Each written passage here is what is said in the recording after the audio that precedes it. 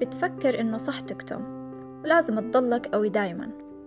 تضحك وفرحان ومزاجك عالي العال. تعرف إنه كلنا مضطربين نفسيا بس مش كل اضطراب مرض. لكن كل مرض سبقه اضطراب لمدة كتير طويلة.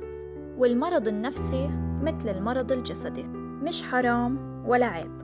موجود بيننا بين أصحابنا بالجامعة وجيراننا وحتى عائلاتنا. هو حرب داخلية. وإحنا ما بدنا إياكم تكونوا ضحية لهاي الحرب. لأنه ممكن تتغلب على هاي الحرب بالمساعدة الصح بالوقت الصح. لو كنا واعيين بالأعراض ومؤمنين إنه مش لازم نكون عشرة على عشرة. عشان هيك إحنا هون. المختصون والأطباء وإحنا. لحتى نصحح المفاهيم ونزيد الوعي ونجيب الحلول إلك أنت. أنت مش لحالك. هاي رحلتنا كلنا. عشانك وعشاننا. عشانك بتهمنا. عشانك بتهمنا.